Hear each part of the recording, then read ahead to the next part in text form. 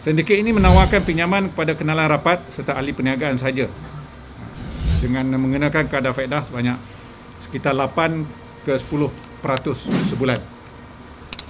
Aktiviti ini telah dijalankan sejak tahun 2014 lagi dengan memperoleh keuntungan sekitar 2 juta setahun. Okey. 2 juta setahun. Bagi JOL, eh, dia punya MO untuk judi online. Okey.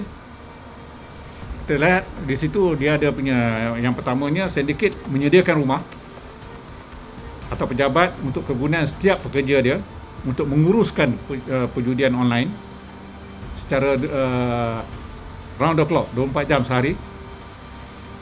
Kemudian media sosial uh, Facebook, Instagram, WeChat, WhatsApp digunakan sebagai medium untuk mempromosikan kegiatan tersebut.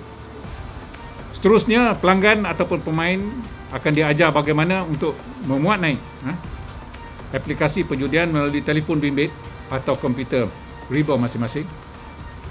Dan pelanggan atau uh, mereka yang berkenaan diberikan password. Ha? Password untuk laman web dan setelah selesai memuat turun? Dia punya aplikasi yang berkenaan. Seterusnya, setiap pemain akan membuat pertaruhan. Ha? Kita tengok step by step. Ha? Ha? Uh, membuat pertaruhan dan dikenaki memasukkan wang ke dalam akaun sindiket secara online dengan menggunakan akaun bank tempatan. Dan akaun bank ni, uh, of course, dia tidak menggunakan akaun dia sendiri tetapi menggunakan uh, akaun Kaldai. Ha? Dan nilai kredit ataupun pertaruhan akan diberikan mengikut jumlah wang yang dimasukkan. Contoh, kalau RM10 untuk 10 poin kredit dan sebagainya. Langkah seterusnya, setiap poin perlu mengukuhkan bank slip sebagai bukti pembayaran pada sindiket sebelum di, uh, diberikan, uh, sebelum nilai kredit dimasukkan ke dalam akaun tersebut.